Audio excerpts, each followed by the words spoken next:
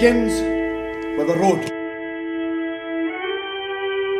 We need a road so that my people can start to believe we have not been abandoned. I hate to tell you, Calum MacLeod,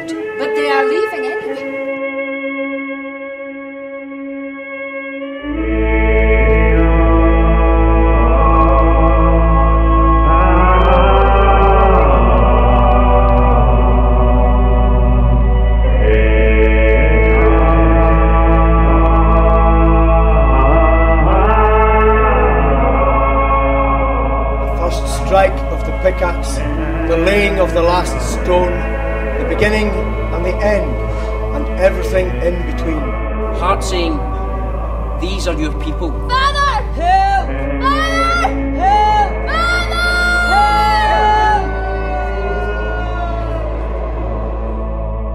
The object aimed at is to ascertain the most favourable direction in which to lay out a road. We want to leave a road half built. And who will notice?